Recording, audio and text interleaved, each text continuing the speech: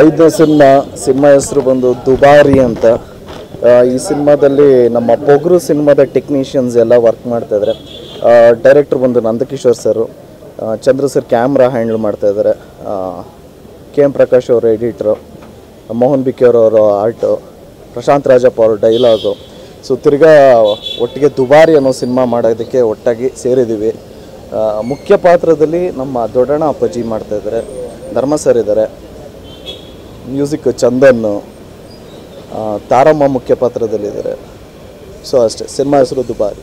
Title ಇಟ್ಟಿದ್ದು Nandkishore sir director ಅದು ಯಾಕೆ ಹಂಗಿಟ್ರು ಅಂತ ನಿಮ್ಗೆ ಸಿನಿಮಾ ನೋಡಾದ್ಮೇಲೆ ಗೊತ್ತಾಗುತ್ತೆ ದುಬಾರಿ ಅಂದರೆ ಕಾಸ್ಟ್ಲಿ ಈ ಸಿನಿಮಾದಲ್ಲಿ ಸಬ್ ಟೈಟಲೂ ಅಷ್ಟೇ.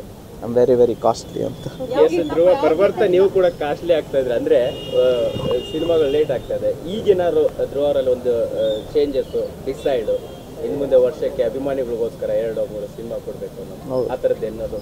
ಟಿಕೆಟ್ ಆಗಿದೆಯಾ? Hundred percent. ಅದಕ್ಕೆ ಮುಹೂರ್ತ ಮಾಡಿತ್ತು ಓಕೆ ಈಗ ನಾಲ್ಕು ಸಿನಿಮಾದಲ್ಲಿ ಬೇರೆ ಬೇರೆದೇ ಶೇಡ್ ಇರ್ಬೋದು ಗೆಟಪ್ ಇರ್ಬೋದು.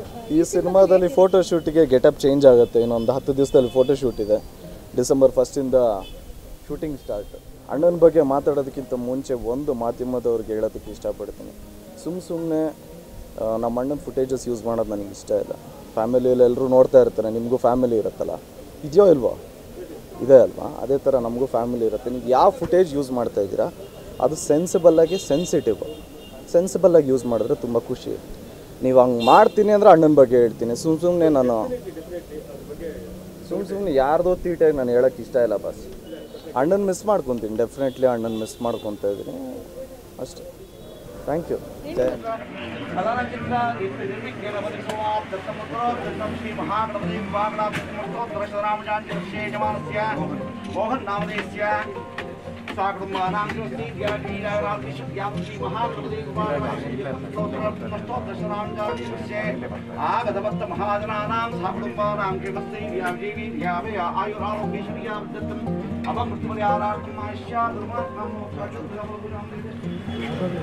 Roll camera